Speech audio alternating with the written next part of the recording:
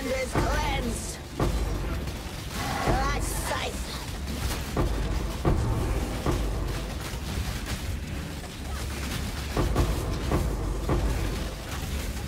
The stars bring only.